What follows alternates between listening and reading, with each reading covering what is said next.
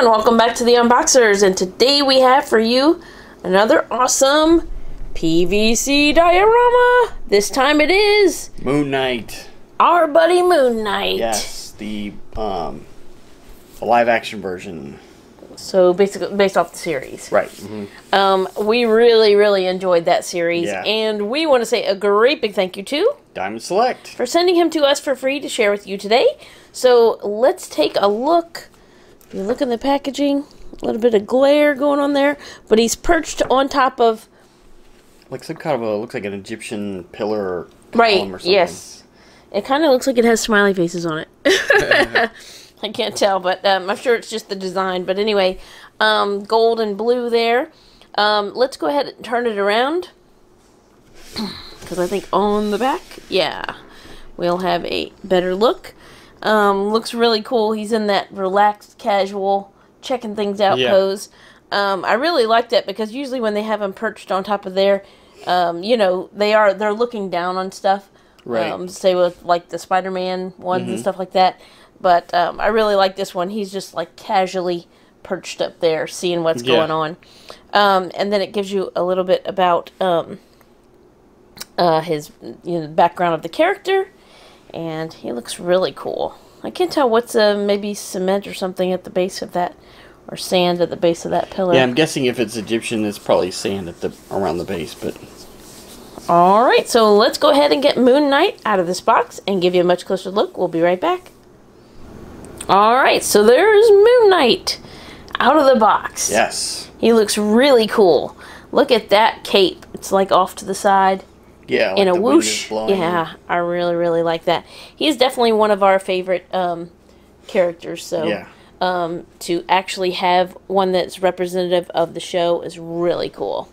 All right, let's. So I was gonna zoom in and let you turn it around a little bit, Oh, and then okay. I'll pick him up. I don't because he's not extremely heavy. No, he's the he's the PVC, so those are. It's doesn't lack in any of the detail that the resin ones do, but it just it's a whole lot lighter. All right, spin it a little bit for me. There you go. You can kind of get that. You can see the back of the cape really well, and then you can see the side. That's so cool. Taking notes on his pants. Yeah. He's really cool looking. So yeah, it's not happy faces, it's just scroll work on there. um, and let's go ahead and give you an even closer look.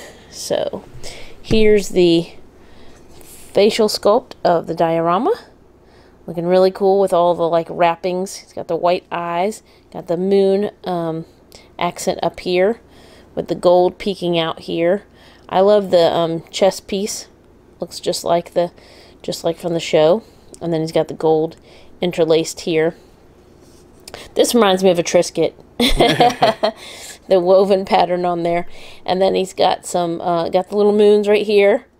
But just the whole, the different layers of wrappings is kind of cool because it leads you to think like a mummy.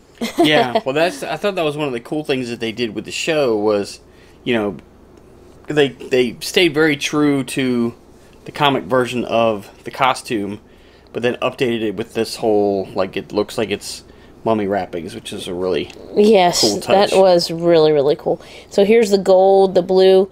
There's like um two or three like a brighter blue and then a like a darker blue and a little bit of a medium one in between there um, to give it um, some depth and some character. Got the gold going on there and then here's like the sand or rock stone that it's coming out of. So looking cool.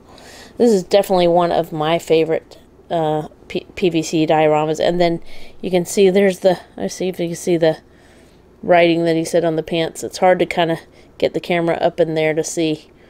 There it is on that side.